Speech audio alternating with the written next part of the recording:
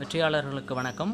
நம்ம இந்த வீடியோ பதிவில் ரொம்ப முக்கியத்துவம் வாய்ந்த ஒரு விஷயத்தை பற்றி பார்க்க போகிறோம் என்ன அப்படின்னு பார்த்தீங்கன்னா குரூப் டூ ரிசல்ட் எப்போ வெளியிடுவாங்க? குரூப் டூக்கான மெயின்ஸ் எக்ஸாம் டேட் எப்போ இருக்கக்கூடியதாக இருக்கும் அப்படின்றத பற்றி தான் பார்க்க போகிறோம் அதுக்கு முன்னாடி ஒரு சின்ன அப்டேட்டை பற்றி நம்ம பார்த்துருவோம். என்ன அப்படின்னு பார்த்தீங்கன்னா சமீபத்தில் பெண்களுக்கான ரிசர்வேஷன்ஸ் முப்பது பர்ஸ் முப்பது சதவீதம் தொடர்பான வழக்கு ஒன்று நீதிமன்றத்தில் இருக்குது அது தொடர்பான விவாதங்கள் அனைத்தும் என்ன பண்ணிட்டாங்க அப்படின்னா இருபத்தி நான்காம் தேதி முடிக்கப்பட்டிருந்தது. தமிழ்நாடு டிஎன்பிசி கிட்ட இருந்து என்ன பண்ணியிருக்காங்கன்னா இருபத்தி ரெண்டாம் தேதியே என்ன பண்ணியிருக்காங்கன்னா இது வரலும் நீங்கள் ரிசர்வேஷன் முப்பது சதவீதம் எப்படி கொடுத்துருக்கீங்க? அந்த டாக்குமெண்ட்டை கொடுங்க அப்படின்னு சொல்லிட்டு இருபத்தி ரெண்டாம் தேதி வாங்கினாங்க. அதுக்கப்புறம் தான் விவாதங்கள் இருபத்தி நான்கில் நடந்திருக்கு. இன்னும் தீர்ப்பு அப்படின்றது அளிக்கப்படாத ஒன்றாக இருக்குது தீர்ப்புக்கு கண்டிப்பாக ஒரு வாரமோ இல்லை பத்து நாட்களோ ஆவதற்கான வாய்ப்புகள் இருக்குது அதனால் ரிசல்ட் இந்த மாதத்தினுடைய இறுதியில் வரலாம் முப்பத்தி ஒன்றாம் தேதி. அப்படி இல்லாத பட்சத்தில் செப்டம்பர்னுடைய முதல் வாரத்தில் ரிசல்ட் வரக்கூடியதாக இருக்கும். அப்படி ரிசல்ட் விட்டாங்கன்னா நமக்கு என்ன சொல்லுவாங்க அப்படின்னு பார்த்தீங்கன்னா பொதுவாக நாற்பத்தி ஐந்து நாட்களில் இருந்து ஒரு எக்ஸாம் அப்படின்றது நாற்பத்தஞ்சு நாளில் இருந்து தொண்ணூறு நாளுக்குள்ளே மெயின்ஸ் எக்ஸாம் வைக்கக்கூடியதாக இருக்கும். இப்போ forty five to ninety days அப்படின்றது நமக்கு மெயின்ஸ் எக்ஸாமுக்கு கொடுக்கக்கூடியதாக இருக்கும்.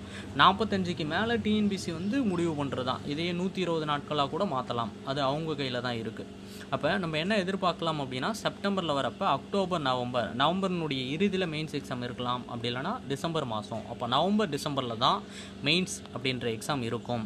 ஒரு சிலர் பயத்தோடே இருப்பீங்க சார் எனக்கு ரிசல்ட் வருமா வராதா? அப்படின்னு சொல்லிட்டு இவ்வளோ பேர் அந்த பயத்தில் தான் இருக்கும். ஏன்னா ஒரு சிலர்லாம் மெயின்ஸ் எக்ஸாம் படிக்கலாமா வேணாமா? ரிசல்ட் வந்தால் படிக்கலாம் இல்லைனா விட்டுடலாம் அப்படின்ற மாதிரி இருப்பீங்க. எதை பற்றி யோசிக்காதீங்க. நீங்கள் படிக்கணும்னு விருப்பப்பட்டீங்கன்னா தாராளமாக படிங்க. One forty five and above one ஃபார்ட்டிக்கு மேலே இருந்தது. பிஎஸ்டிம்னா ஒன் ஃபார்ட்டி அதுக்கு மேலே இருந்ததுனாலுமே நீங்கள் கன்ஃபார்மாக படிக்கலாம். மற்றவங்களும் அதை பேஸ் பண்ணி ரிசல்ட்டுக்காக வெயிட் பண்ணி தான் ஆகணும். எது மாதிரி வரும்?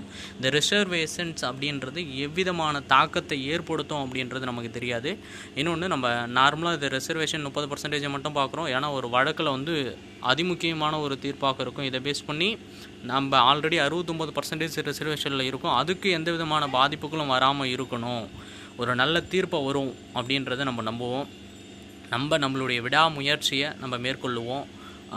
இது இது வரலும் ஜட்ஜ்மெண்ட் வரல. ஜட்ஜ்மெண்ட் வந்ததுன்னா நம்ம அது தொடர்பான அப்டேட்டையும் நம்மளுடைய சேனலில் அப்டேட் பண்ணுவோம்.